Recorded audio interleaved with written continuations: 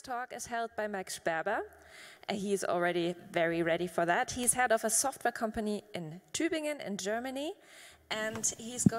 Witamy na polskim tłumaczeniu wykładu Tworzenie poprawnego oprogramowania z zastosowaniem własności generowanych testów i dowodów, prowadzonego przez Mike'a Sperbera na żywo z 36.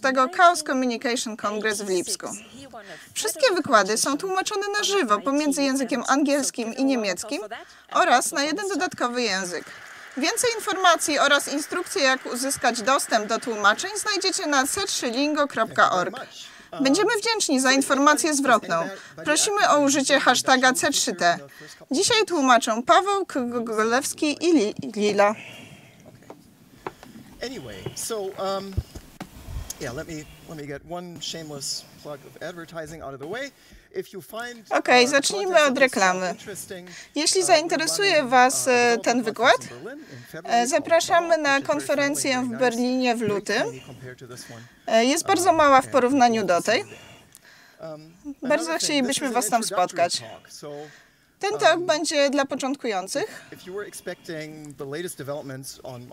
Jeśli oczekujecie najnowszych wiadomości e, z rozwoju technik dowodzenia poprawności programów, e, możecie być rozczarowani. Um,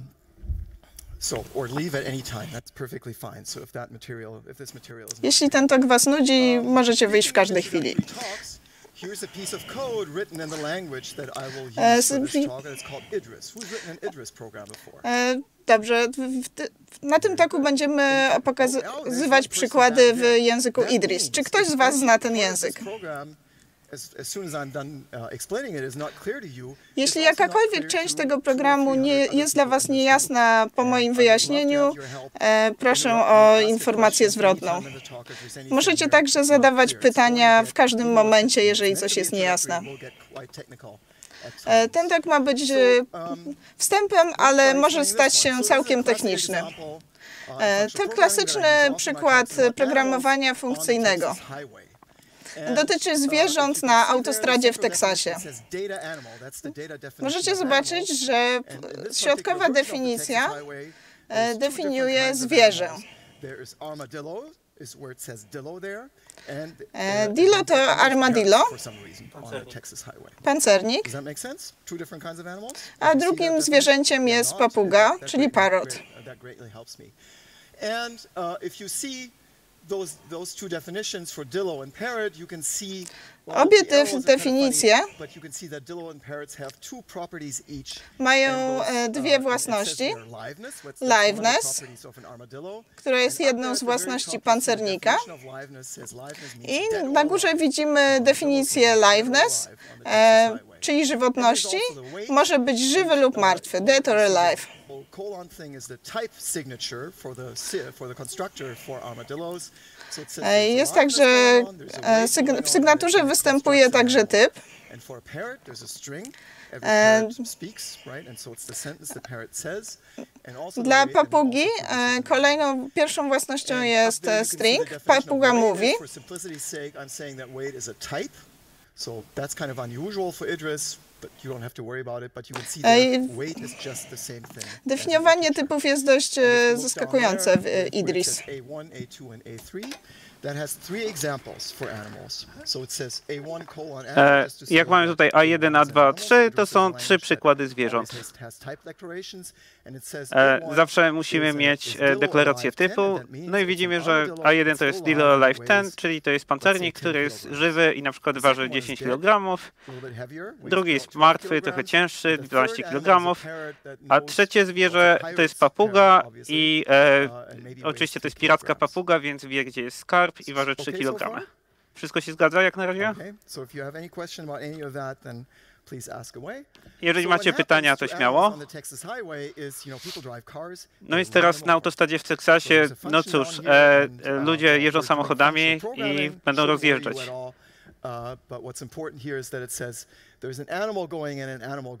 A teraz w programowaniu funkcyjnym macie definicję funkcji, no i jakby przyjmujemy zwierzę i wynikiem też jest zwierzę. No i to nie jest dokładnie zwierzę, tylko stan zwierzęcia w danej chwili czasu. Czy widzi na przykład, że na wejściu mamy zwierzę, a na wyjściu wychodzi zwierzę, no czyli mamy stan zwierzęcia zanim je rozjedziemy i po tym jak je rozjedziemy. No i wiemy, że są dwa rodzaje zwierząt. To znaczy, że e, definicja musi mieć tak zwane dwa równania. Pierwsze równanie mówi, co się dzieje z pancernikami, kiedy je rozjeżdżamy. No więc e, pancernik e, ma żywotność i wagę, no i używamy dostosowania do wzorca, a w drugim równaniu e, patrzymy na papugę. No i kiedy rozjeżdżamy pancernika, to znaczy, że żywotność zmienia się w martwego. No, a waga się nie zmienia. A równanie na dole opisuje papugę, no i papuga staje się naprawdę cicha. Klasyczny przykład.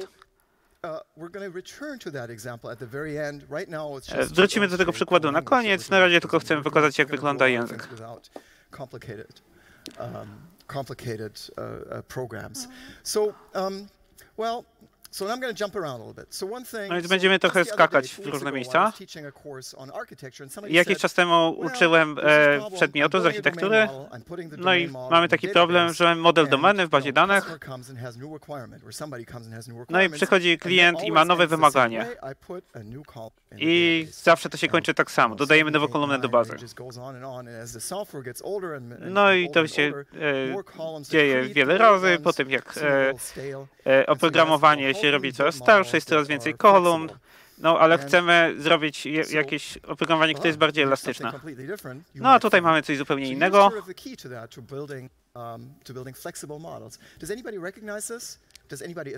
E, no, czy ktoś to rozpoznaje? Czy ktoś wie, czym jest łączność? Własność łączności? No, zależy w jakim stanie chodziliście do szkoły, no to możecie wiedzieć, że to jest własność, którą nazywamy łączność. Że jeżeli, łączymy najpierw A i B, albo łącz, e, a potem dopiero C, albo odwrotnie. E, je- jeżeli macie się nauczyć jednej rzeczy z tego wykładu, to będzie to, czym jest łączność. Musimy być bardziej specyficzni. E, e, powiemy sobie, że to są, to są na pewno liczby, że to jest łączność konkretnie dla liczb, a nie dla czego innego. No, na początku jest trochę matematycznie wyglądających wzorów. To odwrócone A oznacza dla każdego, czyli for all. No, czyli dla każdego A, B i C i e, ten znak w środku oznacza, że jest elementem, czyli że A, B i C są, należą do zbioru liczb naturalnych. To znaczy, że dla wszystkich liczb naturalnych A, B i C własność łączności e, e, jest zachowana w momencie, kiedy je dodajemy. Ta, ta własność jest wszędzie. Nie dotyczy tylko liczb i dodawania, pojawia się wszędzie w programach. Tu mamy inny przykład, kiedy mamy listy. i te takie dziwne dwa plusy, no to jest konkatenacja, czyli sklejanie list. Oczywiście możemy sklejać trzy listy w dowolnej kolejności, no i to też jest łączne. To znaczy nie ma znaczenia, czy na początku sklejamy B i C, a potem A na początku, czy robimy to odwrotnie, to znaczy najpierw A i B i potem C na, na koniec. Zawsze dostajemy ten sam wynik. Czyli listy i konkatenacja też spełniają ten warunek łączności.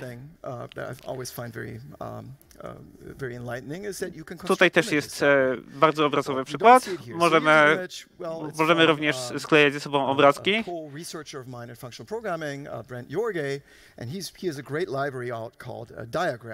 No i ten człowiek, Brent Jorgej, ma właśnie ciekawą bibliotekę, w której możemy składać obrazki z części. E, mamy operatory, które sklejają obrazki, składają je z części. Mamy różne kształty, e, są tu różne prostokąty, jest ten czarny prostokąt, no to są oczywiście wieże Hanoi. Nieważne czym są wieże Hanoi, ale ważne, że mamy obrazek, który jest z kilku części. No, przy klasycznym programowaniu obiektowym mamy jakiś kanwas, płótno e, i rysujemy na tym kanwasie. Ale tutaj robimy coś innego. Tutaj potraktujemy obraz jako typ danych. E, no i nie jest ważna definicja, ale ważne jest, że mamy różne funkcje, które e, konstruują proste obrazy. Możemy sobie wyobrazić funkcję Gold Star, która robi gwiazdkę. Widzimy na górze deklarację typu, to znaczy, że ta funkcja star dostaje najpierw e, liczbę całkowitą, tryb, kolor i produkuje obraz. Możemy zawołać e, z trzema argumentami, na przykład 200 solid gold, czyli wypełniona gwiazdka ze złota. No i dostajemy, dostajemy e, obrazek, który jest obiektem. Może mieć inną funkcję, poligon, wielokąt. No i poligon dostaje e, dwie liczby całkowite, czyli e, wielkość i ilość wierzchołków, no i potem tryb, czy jest wypełniony, czy nie wypełniony, potem, e, potem kolor, no czyli na przykład możemy wziąć e, wielkość 180, rozmiar 5 i kolor czerwony. No i teraz pomysł jest taki, że może, tak jak możemy połączyć dwa liczby, to możemy też połączyć dwa obrazy. Najbardziej intuicyjny sposób to jest po prostu ustawienie ich obok siebie, czyli mamy funkcję beside, czyli obok siebie i tworzą na nowy obraz. No i jeżeli mówimy o łączności, no to zwykle mamy taki e, operator dwuargumentowy, który łączy jakieś dwie rzeczy. Na przykład możemy połączyć ze sobą te dwa obrazy, możemy sobie wywalić też above, czyli nad, jest jeden obraz nad drugim. Możemy połączyć te dwa operatory, no i jest, jest ważne, że dostaniemy to samo. Czyli możemy na tych wynikach obok zawołać też funkcję nad, czyli above. No i to są dwa możliwe operatory. E, no ale bardziej fundamentalny to jest overlay, czyli e, nałożenie jednego, jednego obrazu nad drugim.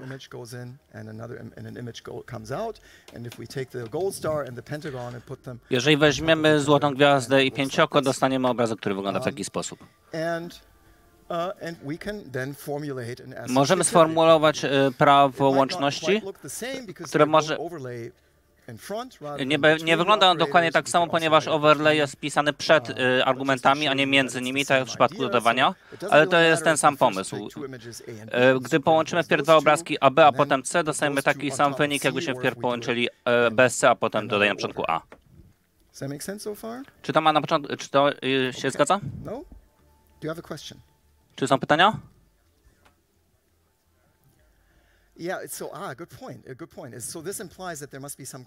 Tak, mamy pewne pojęcie przejrzystości i obrazki nie muszą wypełniać e, całego, e, całego brzegu. Very good question is that if you think um,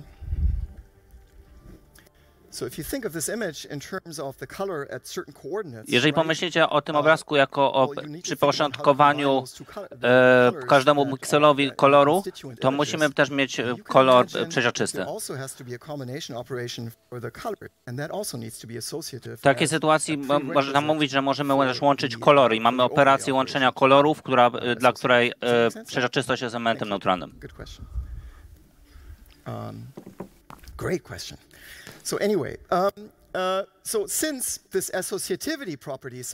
Ponieważ ta operacja łączności jest, e, występuje bardzo często, nazwiemy strukturę, w której e, istnieje operacja łączna semigrupą, półgrupę. Uh, has a name in mathematics, uh, and it's not the best name, but it's called a semigroup, right? Um, Półgrupa to zbiór z działaniem, które jest łączne. So, uh, so just to go over that, so you have some some set S, and that S that S might be image, it might be the natural numbers or something like that. Ten zbiór może być na przykład zbiorem e, liczb naturalnych z dodawaniem. Take any A, B and C from that set S.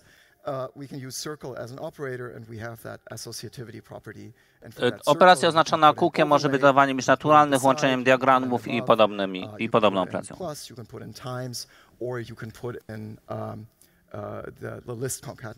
Może to być też konkatenacja list, czyli łączenie. Własność łączności oznacza, że nie ma znaczenia, jak postawimy nawiasy, można je po prostu pominąć.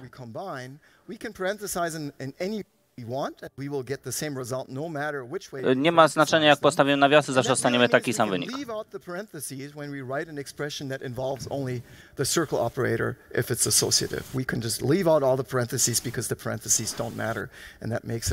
Uh. Takie wrażenie łatwiej czytać. Załóżmy, że mamy bardzo dużo danych. Jeżeli chcemy je połączyć, mamy dane na bardzo wielu dyskach twardych, gdy, gdy mamy operację łączną, do,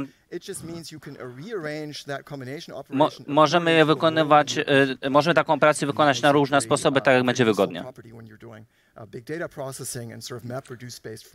Na tym opiera się framework MapReduce.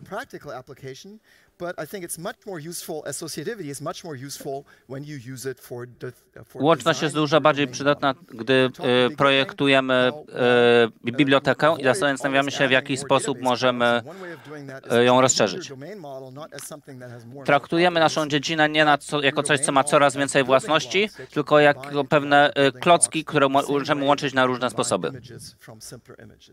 W tym przypadku łączymy, tworzymy obrazki łącząc kilka różnych, łącząc obrazki z prostszych atomów.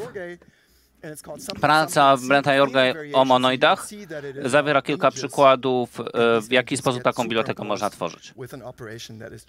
Tutaj mamy operację overlay z wcześniej. Tą pracę można wyszukać wpisując jej, wpisując jej nazwę w Google. Monoid w tytule to półgrupa, w której jest element neutralny. To jest taki, który gdy, po połączeniu z dowolnym innym elementem daje ten sam element z obydwu stron. Gdy łączymy cokolwiek z elementem neutralnym, dostajemy to samo z powrotem. W przypadku liczb i dodawania byłoby to 0. W przypadku list i łączenia byłaby to list, pusta lista. Gdyby w przypadku operacji overlay możemy sobie wyobrazić pusty diagram, to jest taki, który cały jest przeźroczysty.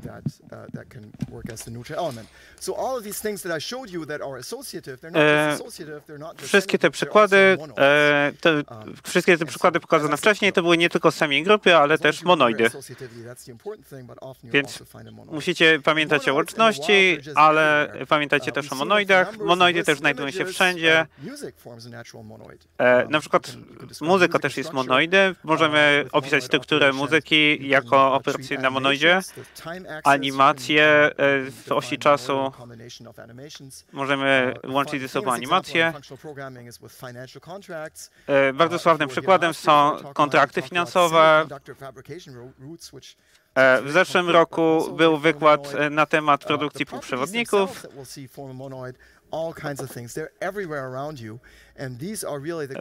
Monoidy są wszędzie i można znaleźć bardzo dużo przykładów i jest to klucz do, do zrozumienia wielu domen. Można powiedzieć, że to są klocki, które możemy włączyć w większą całość. Możemy użyć łączności, możemy użyć monoidów, e, żeby w jakiś sposób e, informować nasz projekt. So Jeśli pamiętacie operację łączenia obrazów obok siebie i nad, no to możemy nimi łączyć rzeczy w osi pionowej poziomej. No i one działają tak, że e, liczą jakieś pudełko, które okala oba te obrazki.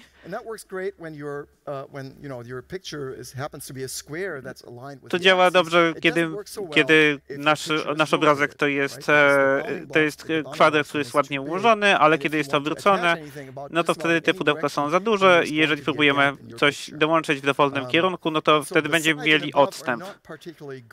Także te operatory obok i nad to może nie są najlepsze operacje do, do naszej biblioteki, ale nakładanie rzeczy na siebie mogą być lepiej. No ale pytanie, w jaki sposób możemy teraz połączyć obrazki tak, żeby były obok siebie.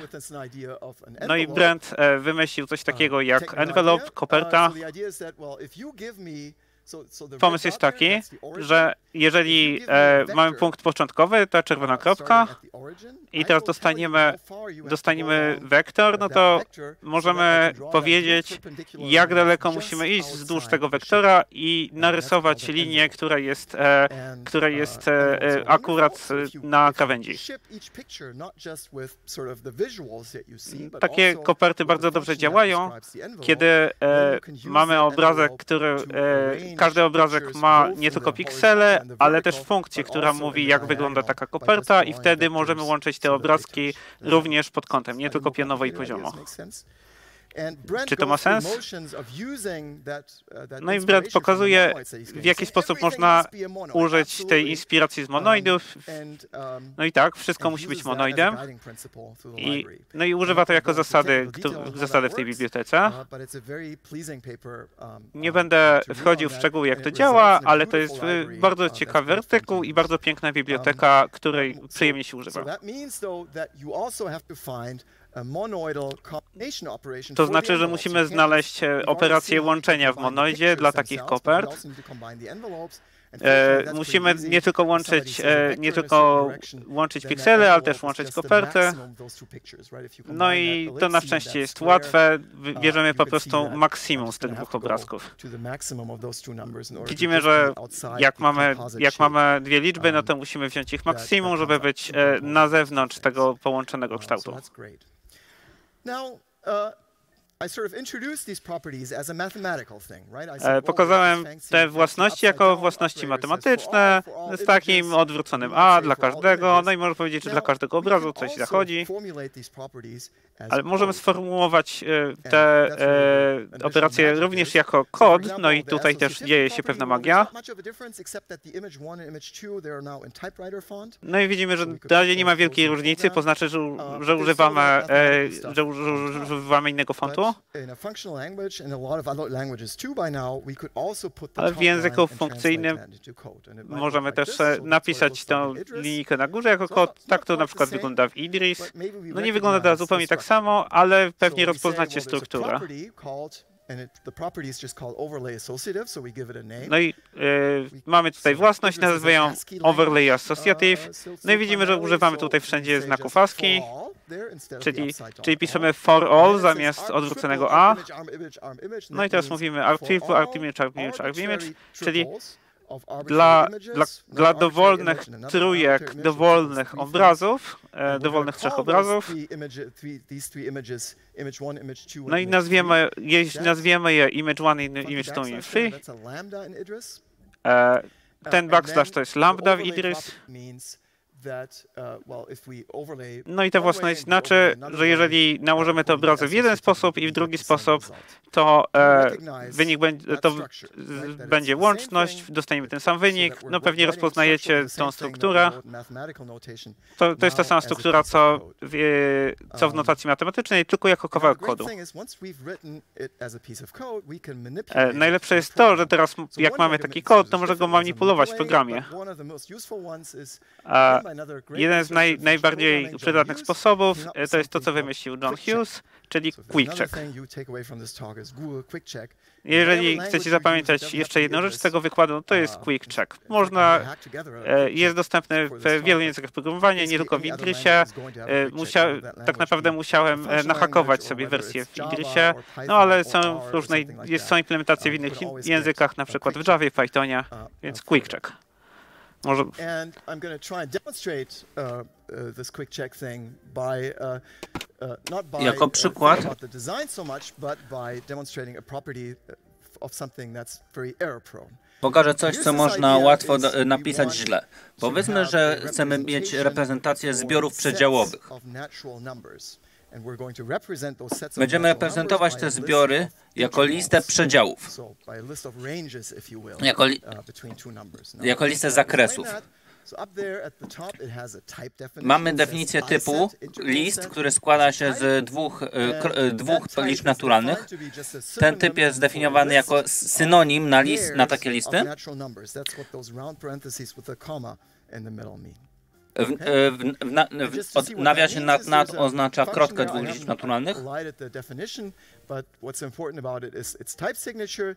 E, definicja i2list. Pominąłem definicję funkcji, ale jest to funkcja, która zamienia typ iset w listę liczb naturalnych. Ona bierze listę, liczb, listę par liczb naturalnych i zamienia to na listę liczb naturalnych, więc zamienia reprezentację zbioru. Dajemy jej listę e, przedziałów od 0 do 3, od 5 do 7, od 9 do 10. Wszystkie, są, e, wszystkie przedziały są domknięte.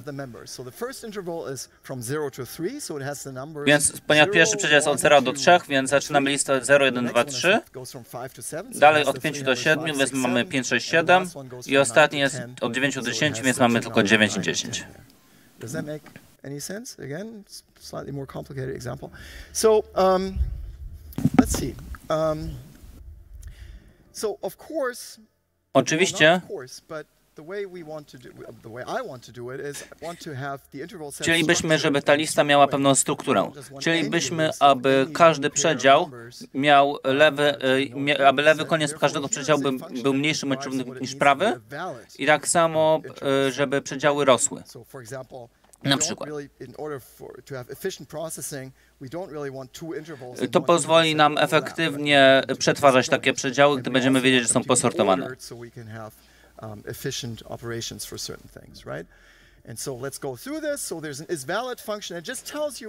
W przypadku, w przypadku zbioru pustego mówimy, że jest to e, poprawny zbiór.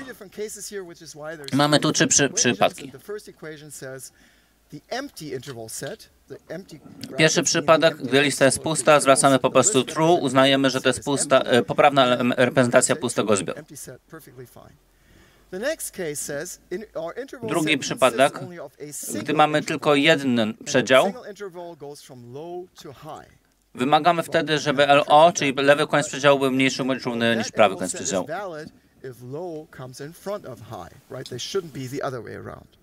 Does that make sense? Somebody in the, in, can you nod at the back a little bit? You're still there? Okay, thank you. Great. So Dalej jest nieco bardziej skomplikowanie. W trzecim przypadku, jeżeli mamy co najmniej dwa przedziały, Pierwszy od LO1 do H1, drugi od LO2 do H2.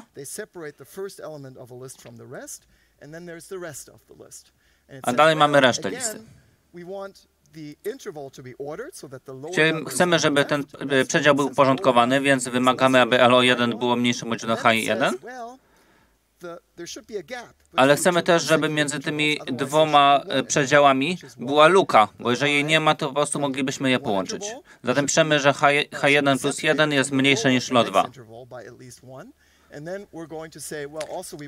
Ponadto sprawdzamy rekurencyjnie, że reszta listy jest poprawna. So far, so good? Okay. So this, this is probably, well, second most complicated piece of code. So, um, Możemy wyobrazić sobie funkcję łączenia zbiorów składających się z przedziałów. I ta funkcja będzie tak jak poprzednio monoidem.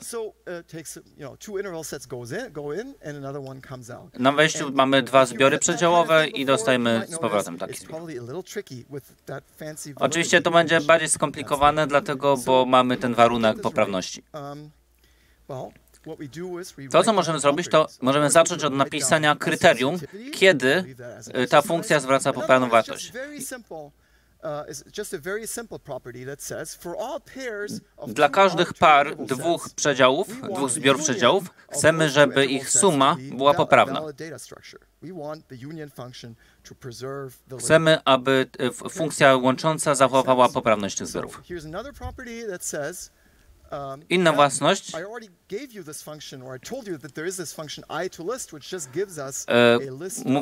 jeżeli skonwertujemy sumę zbiorów na listę, powinniśmy dostać to samo, niż gdybyśmy skonwertowali te dwa zbiory osobno na dwie listy i następnie je połączyli. if we take the union, you, you, see there for all pairs again of arbitrary interval sets, we take the union, it says I union I set and I set 2, and we convert that to a list. And what we could also do is we could instead convert each individual set to a list and, uh, and then just merge those two lists, and that should yield the same result. So, in a way, we're just giving a very simple model for our interval sets, right? And that would, so, so those two criteria would be kind of nice to have No i to są dwa kryteria, które dobrze byłoby tutaj mieć, żeby, żeby mieć poprawną implementację. No i e, za, zacząłem, zacząłem już pisać przed wykładem. O, tutaj. To jest co wymyśliłem. Zignorujcie całą resztę tego kodu, no ale popatrzcie tutaj I union, I set, I set, I set. No i pierwsza linijka mówi, że jeżeli pierwszy zbiór jest pusty, no to bierzemy drugi, jeżeli drugi zbiór jest pusty, to bierzemy pierwszy. Klasyczny przypadek, kiedy mamy jakieś, jakąś sumę albo konkatynację. No i trzeci przypadek robi się bardziej skomplikowany. No trzeci przypadek jest taki, że jeżeli oba argumenty mają przynajmniej jeden element, no i tutaj widzimy, pierwszy to jest low, low 1 high 1, drugi to jest low 2 high 2. No i napisałem już trochę kodu, że jeżeli low 1 jest większy, to wtedy zaczynamy od tego drugiego i kontynuujemy, ale jeżeli low 2 jest większy od high 1, to, a w jeszcze innym przypadku e, to żaden z nich nie jest e, e, po tym drugim, czyli musimy je jakoś złączyć ze sobą. Jeżeli to nie ma sensu, to nie martwcie się, wrócimy do tego. No i teraz powiedziałem wam o tym narzędziu, Quick Check. No i e, fajne jest to, że możemy to uh, teraz załadować do Idrisa. No i dostajemy uh, interpreter. Um, Mam nadzieję, że uh, robię to dobrze. Chcemy wywołać quick check. Używamy tej własności w Union Correct. Możecie zobaczyć, że przeszło 100 testów. No i to jest to, co robi Quick Check, czyli bierze twój kod tej własności i generuje bardzo dużo testów. No i to jest bardzo wydajne, bardzo efektywne. Um, no i mówi, że to jest dosyć zawsze, zawsze poprawne. Czyli zawsze jak weźmiemy listę, to dostaniemy odpowiedni wynik. Ale teraz zbadamy drugą własność. I tutaj jest ciekawsza część, dlatego że mówi, że ta własność jest falsyfikowalna, to znaczy mamy kontrprzykład. Mówi, że wygenerowałem 9 losowych testów, no i znalazłem test, dla którego wynik jest niepoprawny. No i fajne jest to, że możemy teraz e, e, przekopiować ten przykład. E, usuwałem przecinki, uruchamiamy to, no i okazuje się,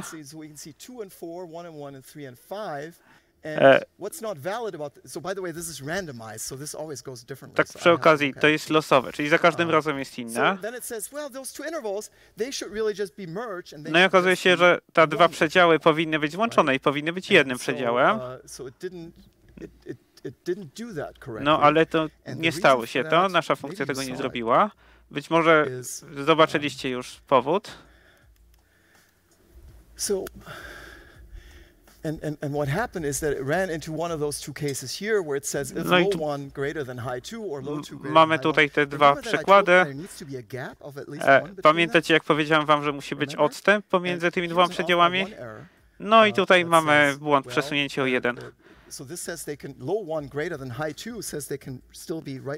No czyli te dwie liczby mogą być teraz obok siebie. Musimy się upewnić, że będzie tutaj odstęp, żeby to naprawić. O, w ten sposób. Załadujemy jeszcze raz. Um, oh no, there's still a counterexample. O nie, znowu mamy kontrprzykład.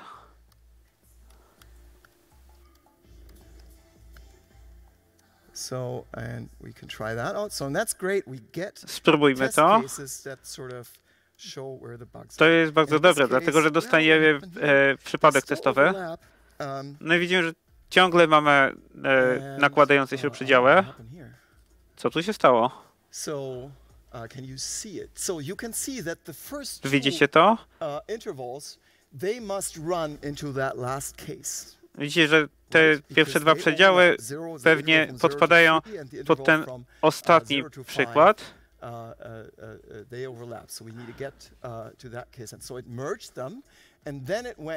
E, uh, tutaj dwa przedziały zostały złączone, no ale nie zostały złączone z tym um, 6-7.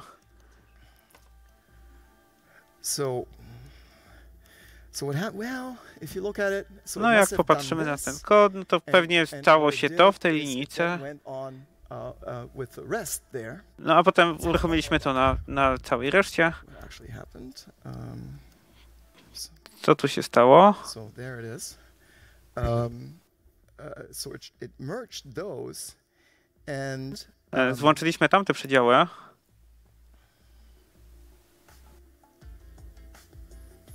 so and and then you can see that it went into a symmetry problem here.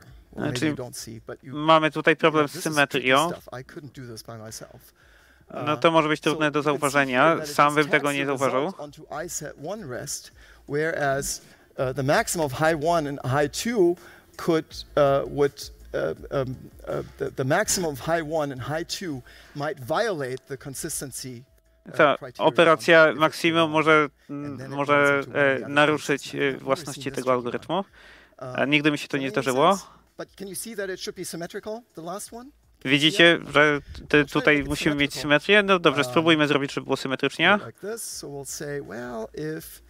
Uh, so, this only works.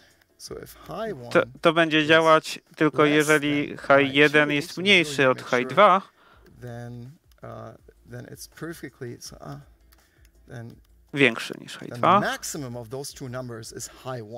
Wtedy maksimum będzie H1. and uh, so the maximum of those two numbers is high one, and then it's perfectly valid to tack it onto i set one rest. And the Znaczy w tym momencie I2 wolno nam dodać ten element tutaj. No ale w tym drugim przypadku uh, musimy work this zrobić coś innego. Czyli musimy ten um, element e, umieścić na początku. Teraz mamy symetryczne przypadki. Uh, Przeładujemy. and and ah, it's passed the tests. No i teraz się udało. Thank, thank you. Uh, I did I did practice getting it correct, right? But you can. Uh, E, trenowałem przed tym wykładem. It always gets. me- I mean, you know, uh, with old age especially. No, ale- Zawsze takie Uh, rzeczy e, sprawiają, że trochę się be, szczególnie jak robi się starszy.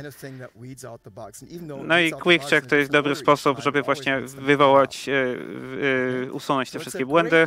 chociaż. Czasem, czasem Um, nie, nie mam generates gwarancji w jakiej kolejności to robi. To jest świetne narzędzie, Uh, spróbujcie, spróbujcie z niego um, skorzystać. E, Zobaczmy na kilka prawdziwych przypadków, na przykład e, w manager, X. Windows. No, czyli Mamy menedżer okienek, X, X Monad, e, teraz e, nie robi się, nie, nie, nie ma na nim już zbyt wiele prac. Dlaczego? Że jest poprawne. A dlaczego jest poprawne? Dlatego, że napisano wiele własności dla, do algorytmów e, geometrii i rozmieszczania um, okienek i zweryfikowali je translate.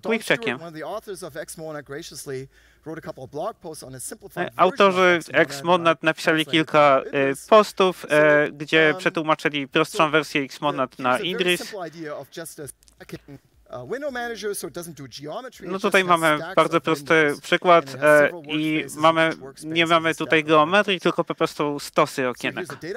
stack set. Czyli mamy typ danych, który nazywamy a type, uh. Jest We'll typem window, czyli okno. no, nie mówi, jak, czym jest, nie mówimy tutaj, czym jest, są te okna, ale mamy jeden konstruktor i teraz mamy dwa pola. E, current to jest e, to jest e, numer bieżącego obszaru roboczego, a stacks to jest e, mapa z numeru obszaru do, e, do stosu, czyli listy okien. Szczegóły nie są tutaj istotne, ale mamy, mamy różne operacje, które działają na tych konfiguracjach tego menedżera. Znowu, szczegóły nie są istotne, no ale możemy stworzyć pusty set.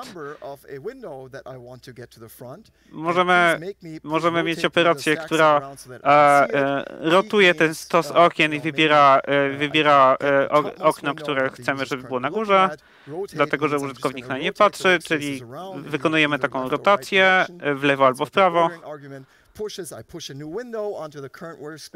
E, możemy włożyć, włożyć okno na wierzch, możemy włożyć okno do innego obszaru roboczego, możemy usunąć okno.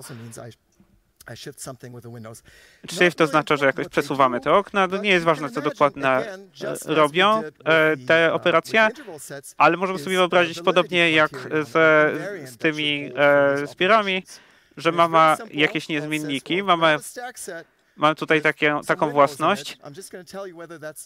E, możemy, możemy zobaczyć, czy dany stos jest e, spójny. E, numer naszego bieżącego stosu musi być mniejszy od ilości wszystkich. A ta, ta druga część mówi, że okno nie powinno być e, na kilku obszarach roboczych naraz.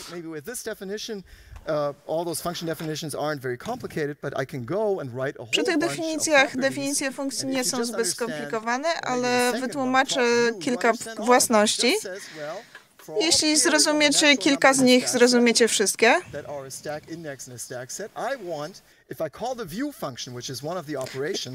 Jeśli wykonam funkcję view, to chcę, żeby ta funkcja e, stworzyła e, spójny stos. E, na samym dole widzicie niektóre wymagania, które muszą spełniać własności. Jeśli liczba okien jest mniejsza niż rozmiar stosu, naruszymy własność. to invent properties is to think of some invariant that shall hold in your data structure E, jest to dobry sposób na wynajdywanie nowych własności, jeśli potraficie znaleźć niezmiennik, który zawsze, czyli własność, która zawsze powinna być prawdziwa.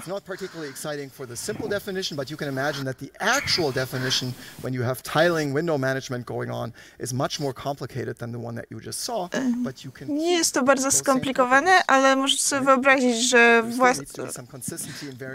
że upraszcza to bardzo definicję dla uh, e, menedżera okienek, który oczywiście używa używa bardziej skomplikowanych. Spisując te własności, możemy je przetestować automatycznie quick-checkiem. E, kilka miesięcy temu e, musieliśmy migrować aplikację w Visual Basic, która była gigantyczna. E, tutaj widzimy fragment dotyczący sprawdzania haseł. Własność, której Własność, którą sprawdzaliśmy, e, dotyczyła porównywania hasza, hasła z bazy danych. I ta własność e, okazała się być nie, okazała się mieć błędy, które wykryliśmy quick checkiem i poprawiliśmy ją tak, jak widać na tym slajdzie. To oznacza, że możemy e, użyć quick checka nie tylko po to, żeby sprawdzić poprawność rzeczy, o których już wiemy, ale także, żeby e, um, poprawić istniejące własności.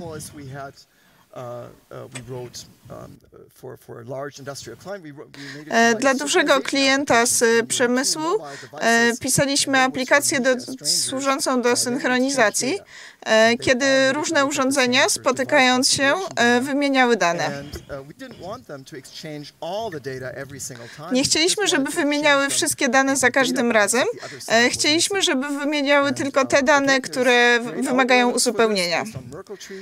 E, są do tego świetne algorytmy oparte na drzewach Merkela.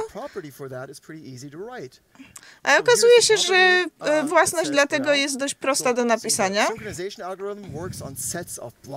E, algorytm synchronizacji działa na setach, czyli zbiorach z bloków.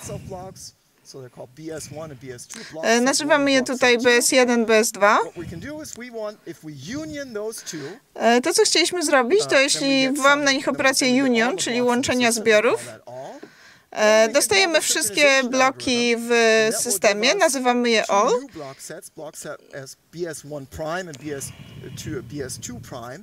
E, uzyskujemy je wywołując operację, wywołując operację Synchronize. E, nazywamy uzyskane sety BS1', BS2'. E, I własność mówi, że jeżeli zrobimy union obu zestawów, uzyskamy wszystkie.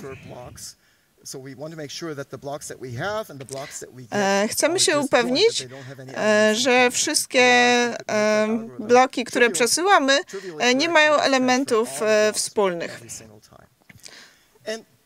bo to nie miałoby sensu. Spędziłem um, tydzień lub dwa walcząc z tym algorytmem, ale ten jeden test własności pozwolił mi usunąć wszystkie bugi. John Hughes has a couple of papers on, uh, on hard bugs that he found. So he found the bug in a distributed John Hughes napisał świetny tekst o korzystaniu czeków.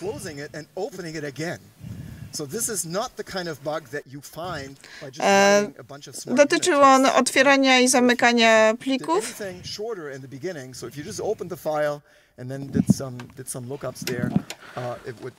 Jeśli tylko otworzymy jakieś okno i sprawdzamy tam jakieś rzeczy, to jeszcze błąd się nie pojawi, ale jeżeli otworzymy dwa razy, no czyli uh, jeżeli spróbujemy wyłączyć i uh, włączyć ponownie, to wtedy baza się psuje.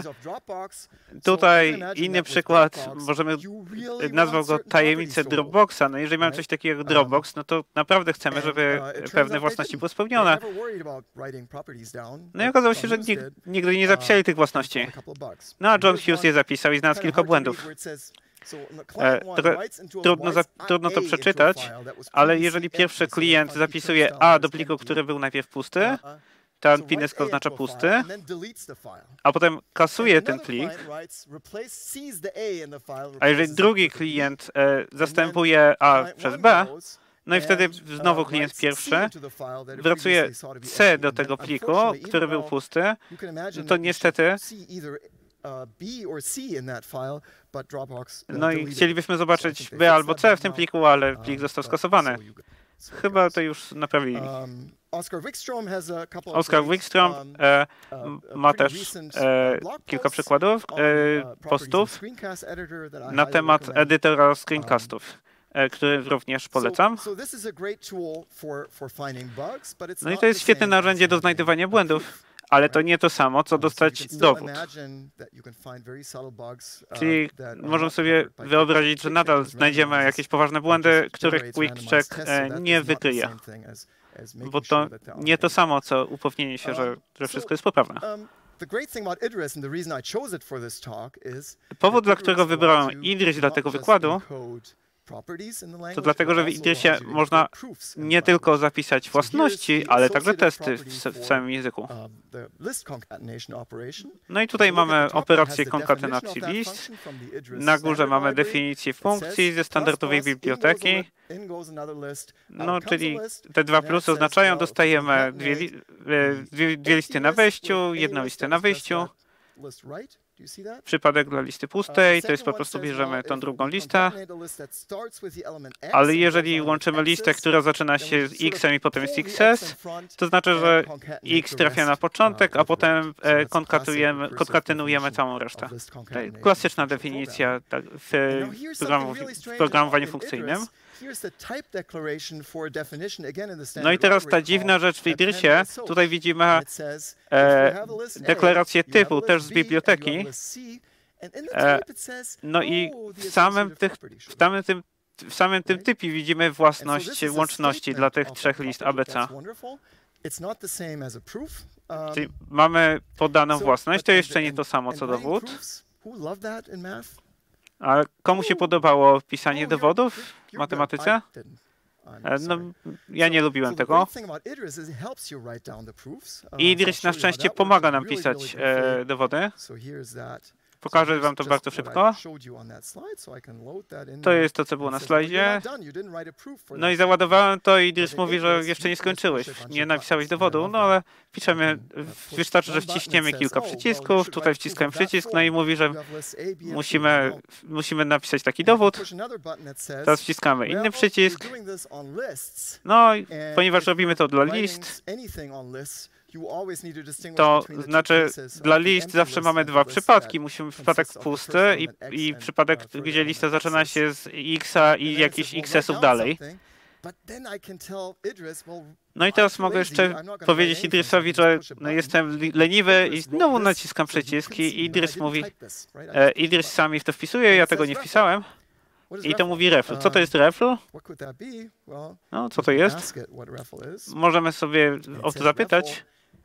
No. no i widzimy, że to jest taki wbudowany dowód, że, że dwie rzeczy są równe, jeżeli są identyczne. No i to ma sens dla tego pierwszego równania, dlatego że pierwsze równanie do tego append e, e, odpowiada pierwszemu równaniu na górze. Widzicie? Dla pierwszej listy, która jest pusta? Widzicie ten przypadek dla pustej listy? Tam na górze dla plus plusa?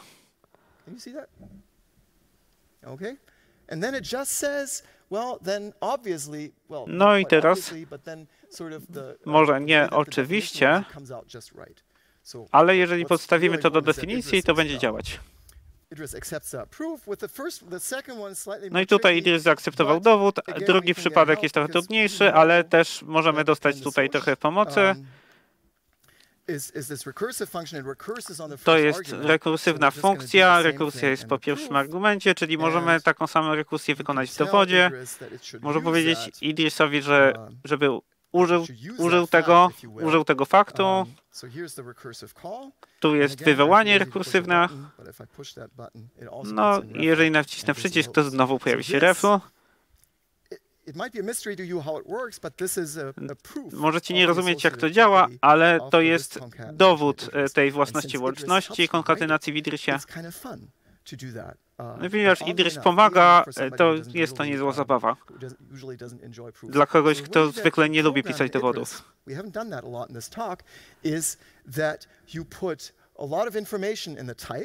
No, czyli w Idrisie e, umieszczamy dużo informacji w typach i im więcej informacji będzie w typach, tym lepiej potrafi, Idris potrafi ją wykorzystać i nie musimy um, pisać za dużo sami.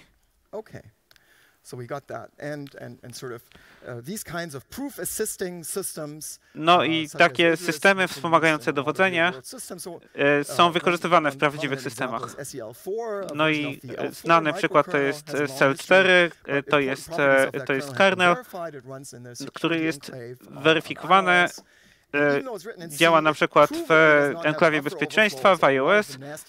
No i jest udowodnione, że nie ma na przykład przepełnień bufora i innych podatności.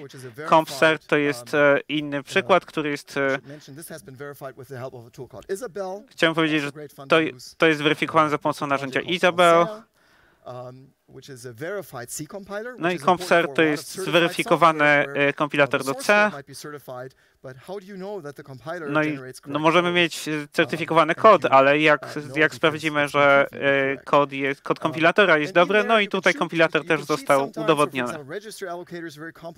No i na przykład alokacja rejestrów jest bardzo, bardzo skomplikowana, ale możemy, możemy napisać sprawdzenie tego alokatora.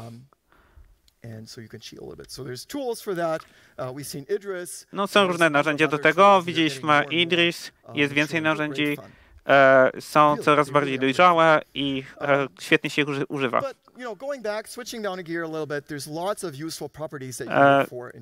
Wracając trochę, no mamy tutaj mamy tutaj wiele e, własności, które mogą być przydatne. Na, na przykład przemienność. E, jeżeli pamiętacie e, relacje z e, lekcji matematyki, no to tutaj mamy różne własności, takie jak, jak e, relacja zwrotna, symetryczna, antysymetryczna i przechodnia. Antysymetria oznacza e, intuicyjnie odwrotnie niż symetria. Jeżeli, jeżeli rzeczy są sobie w relacji w obie strony, to też wtedy to musi być ta sama rzecz.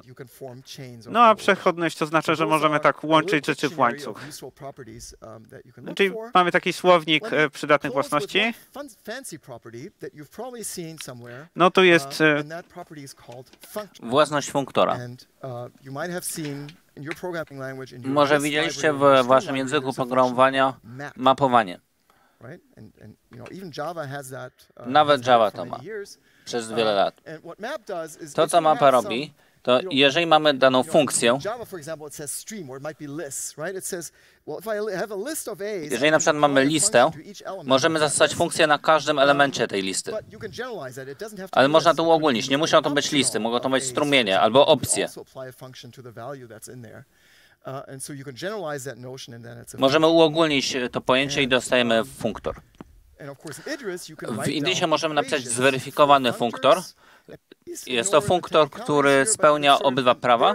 Można tu zignorować dokładne techniczne szczegóły. Funkcja functor identity mówi, że map gx równa się x, to znaczy, że mapowanie po g jest funkcją identycznością.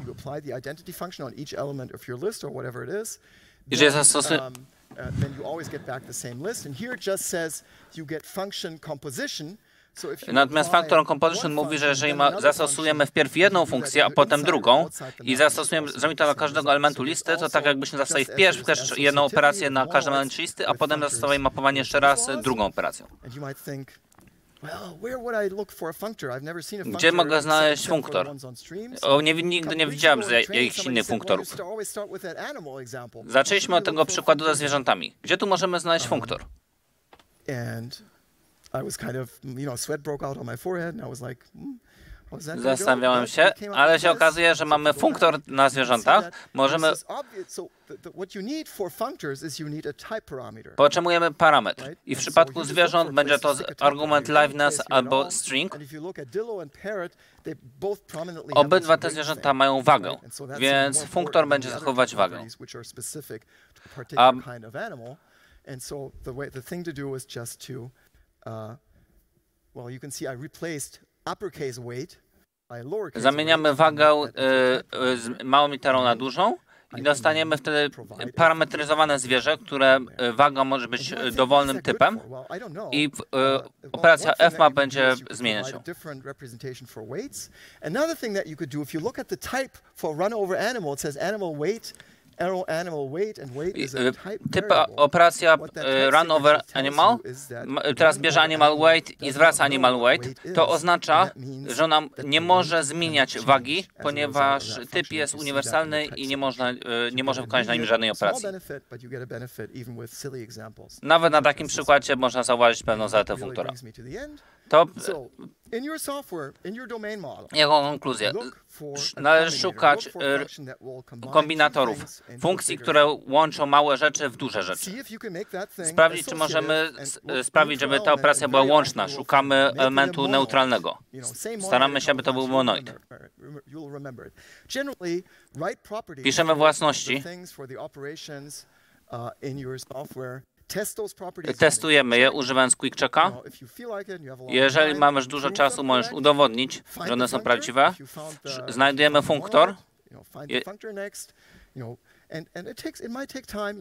To może trochę e, potrwać, jestem bardzo stary, ale po, po treningiem będzie to łatwiejsze.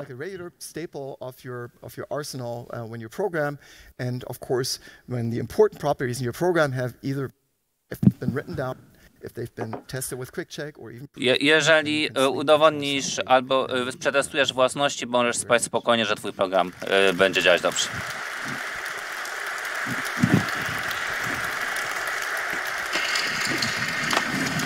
Thank you, Mike. So I see we have three minutes for questions. Maybe that's two or three questions. If you have any, come to the microphone. Mamy trzy minuty na pytania. Uh, do we have a question from the internet? No, not yet. So, microphone two? Right. Hi. Hi. So, quick check generated 100 tests. Yes. QuickCheck wygenerował 100 testów. Je, co możemy powiedzieć o ich jakości? Czy to jest wystarczająco dużo testów? Czy to są poprawne testy? Czy to dobrze? Dobre pytanie. No, jeżeli chodzi o jakość testów, no jeżeli mamy zastosowania przemysłowe, to QuickCheck ma kilka y, narzędzi, które na przykład pozwalają patrzeć na rozkład przykładów. No i nie robiłem tego tutaj, ale dla obiektów w naszej domenie zwykle piszemy generatory, które e, generują te przykłady i potem możemy coś robić z e, rozkładem tych przykładów i absolutnie powinniśmy to robić. Są narzędzia, które w tym pomagają. Nawet jeżeli tego nie robimy, E, nawet bez tego znalazłem wiele błędów w swoim oprogramowaniu. No ale trzeba popatrzeć na rozkład. Thank you. Dziękuję. Next one, please, number two. Następne pytanie. Uh, Napisałem program w Javie, w Javie lub C Sharpie. Mm, Jak mogę zastosować to, co się nauczyłem? Uh, Gdzie zacząć? Gdy już mam skończony program.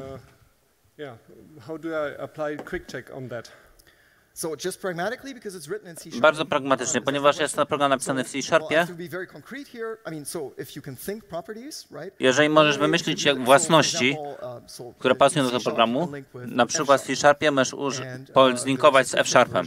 Jest wersja QuickChecka na F-Sharpie i S-Check, mimo że jest napisany w F-Sharpie, można używać go z C-Sharpa, więc masz dwie opcje. Możesz napisać testy w C Sharpie lub można zlinkować kod z F Sharpem i użyć odpowiedniego QuickChecka tam. Istnieje implementacja QuickChecka w Javie, całkiem dobra.